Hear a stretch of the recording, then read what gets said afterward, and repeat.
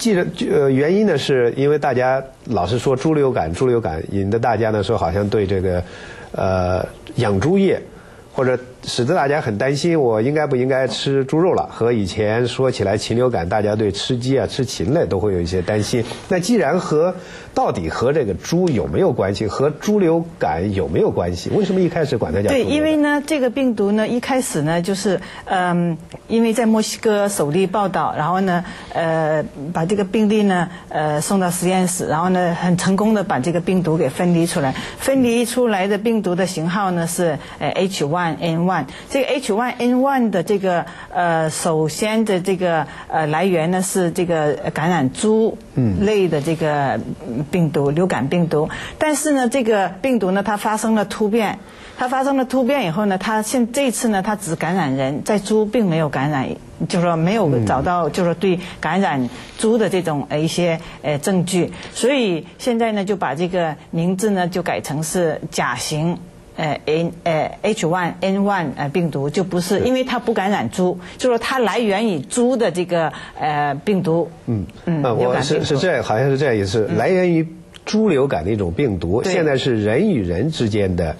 传播感染，而禽流感前些年流行的禽流感是人从禽身上感染了。禽流感好像到目前为止还没有发现人与人之间感染的这样的禽流感，是这样吗？呃，大概在三年前，在亚洲呃也曾经就是说嗯。流行过的这个禽流感，当时呢使很多专家，甚至使很多人都感到非常的担心和嗯担忧，因为呢禽流感呢这个病毒呢是在禽类进行一些感染和传播的一些一个病毒，但是呢它突变了以后呢它感染人，所以就说人接触了这个呃有病的这个禽类之后呢就会得到感染，感染完以后，但是很非常幸运的是呢，它这个病毒呢在人之间并没有传染，没有传染。所以它这个传染呢，就是没有扩散开，所以呃，只要把这个呃得病的这个禽类呢，呃控制好。这个呃感染源呢得到了很就是说限制之后呢，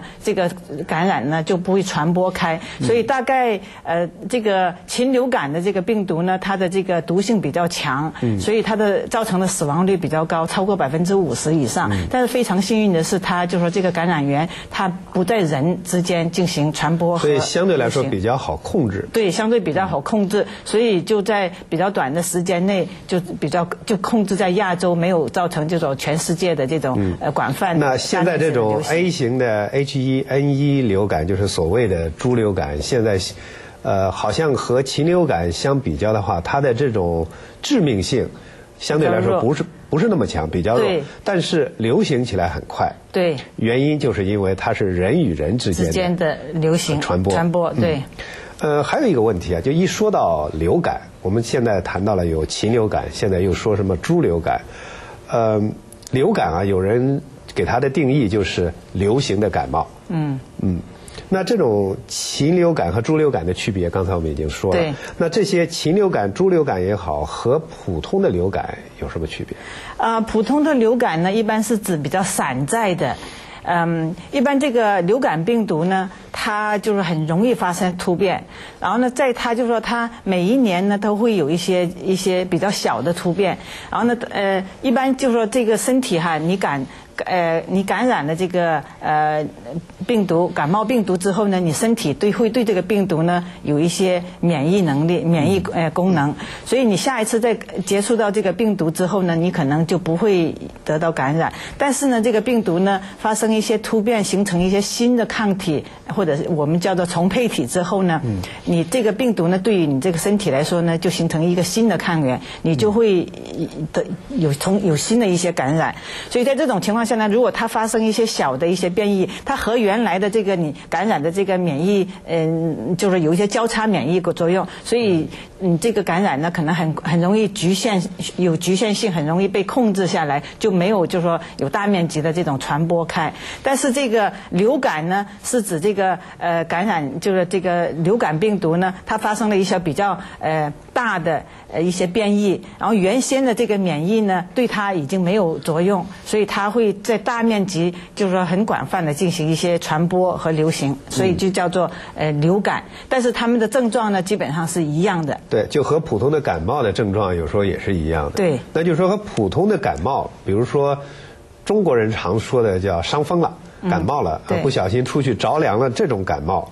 和流感有什么样的区别？对，还是有区别。因为呢，比如说像呃，在中国说的伤风，是因为呢，往往呢，你身体呃比较就是说呃健康的情况下呢，即使有比较少量的病毒呢进入你身体呢，你也就是说不会引起你一些感冒的症状。但是呢，比如说你着凉了，在着凉的情况下呢，你身体的免疫力可能会受到一些呃影响。在这种情况下呢，你可能就会呃出现一些感冒的症状，比如说发烧啦、流鼻呃流鼻水啦、咳嗽啦，甚至就是说，如果你呃免疫能力更差一点的，甚至可能会合并细菌感染啊，甚至会造成肺炎。所以往往这个呃感冒这个引起感冒死亡的这个合并症呢，就是因为肺炎。嗯，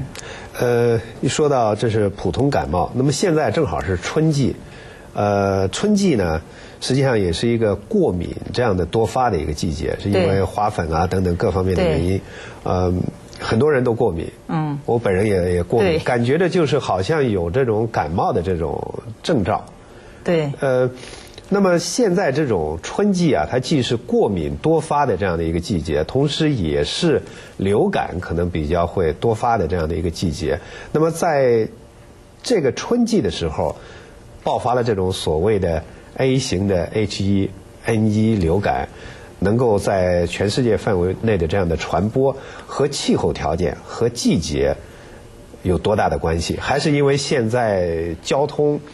发达了？比如说，可能很多人坐飞机两个小时，比如说，特别是美国和墨西哥之间这个边境非常的自由，边境线很长，就是人员来往比较多了，才造成这样的广泛的传播。嗯，对，就是呃，这个感冒呢，它有受很多呃环境因素和一些呃因素的影响。现在秋季呢，本来就是这个感冒多发季节，嗯，就根据你这个感冒的这个病毒的情况是什么样的一种病毒，如果是这个呃